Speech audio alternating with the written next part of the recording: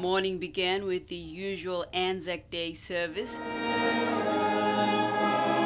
Prime Minister Peter O'Neill relayed that the Anzacs will always remain a part of Papua New Guinea. The sacrifice and service of many thousands of young Australians on our land and in our waters some 70 years ago is deeply appreciated by the people of Papua New Guinea and the government of Papua New Guinea.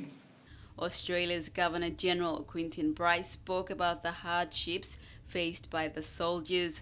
Weeks of dysentery and malarial fever, lack of nourishment and sleep hollowed out their boyish faces, but rarely their morale or their raw courage and will.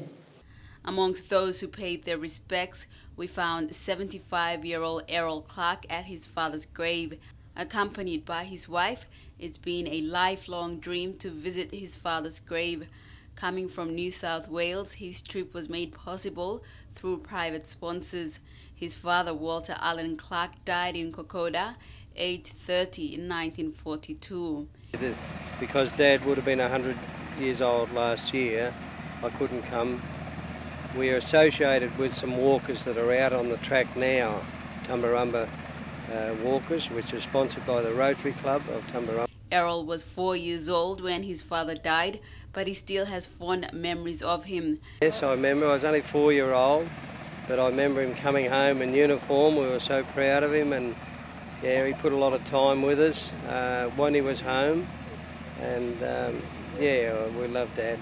Just meters away lies his uncle, a high-ranking corporal. He died the same year. Anzac Day commemoration was part of the travel itinerary for the lads of St. Ignatius College in Riverview, New South Wales. They just finished walking the Kokoda track. Um, we started the Kokoda track last Tuesday and finished uh, yesterday. This is the fourth visit for the college. They usually make the trip biannually. They don't just walk the track, they also undertake some community work. We spent half a day in Menari village, um, worked in the school there, um, so set up some volleyball courts, um, donated uh, some sporting equipment and books and pencils, those sorts of things. Um, and boys built the volleyball courts and then played sports games with them for uh, around about three, four hours in, uh, throughout the day before we kept walking. More than 8,000 Australians died in PNG during World War II. They remained lie in our war cemeteries. Meredith Kusa, National, MTV News.